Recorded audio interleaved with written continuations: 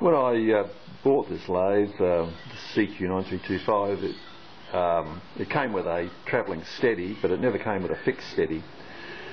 And uh, for a job like this, where I want to uh, face off the end of this 42 mil diameter uh, solid round um, stock, you really need a, uh, a fixed steady because there's too much overhang on the jaws to, of the chuck to, to do it safely.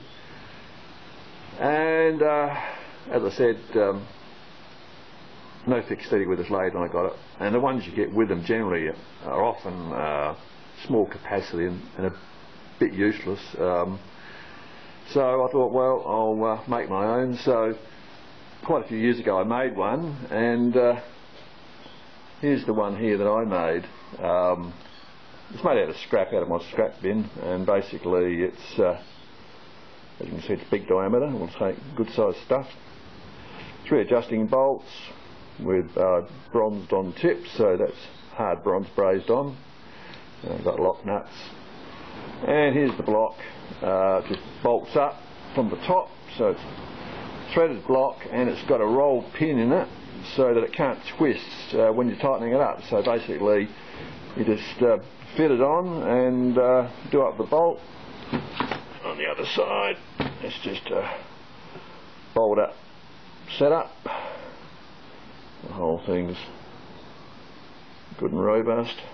Everything's bronze that has to be.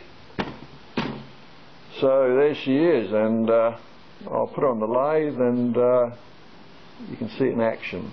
It's not something I use very often, but it is a, a handy device, so um, stay tuned. Right, well now we'll fire up, we'll place off the stem. I could spin a bit faster, but uh, you don't have to go that fast for this operation. Using a carbide uh, facing cutter. And she's working beautiful. There you go, if you want to make yourself up a uh, steady, this one uh, works pretty well. It's a, uh,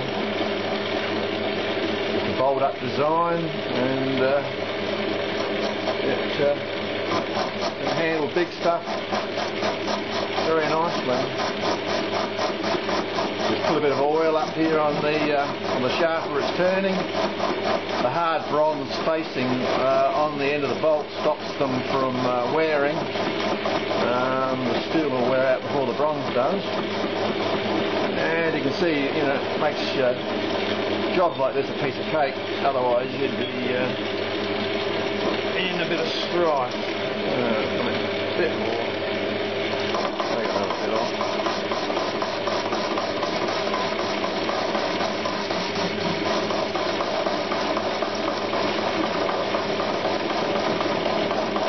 She's a good solid unit, no movement whatsoever in this, and uh, and they're easy to make really. There's nothing to them, and uh,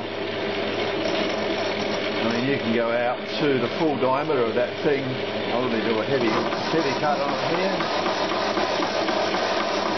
so it can take uh, oh, I about 100 mil quite easily.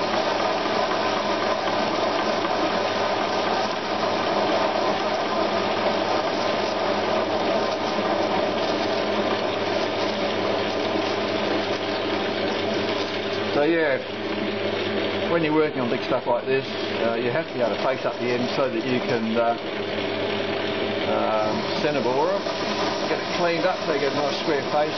Um, I mean, you, you can get by without doing it, but it's best if you do face them off, and that way you can uh, get everything nice and accurate. So there we go, job done. This is finished for now good enough for the next phase, will be the centrebore that now, so there you go. Uh, homemade fixed steady. Um, yeah, easy to make and they work really good. So there you go folks, catch you next time.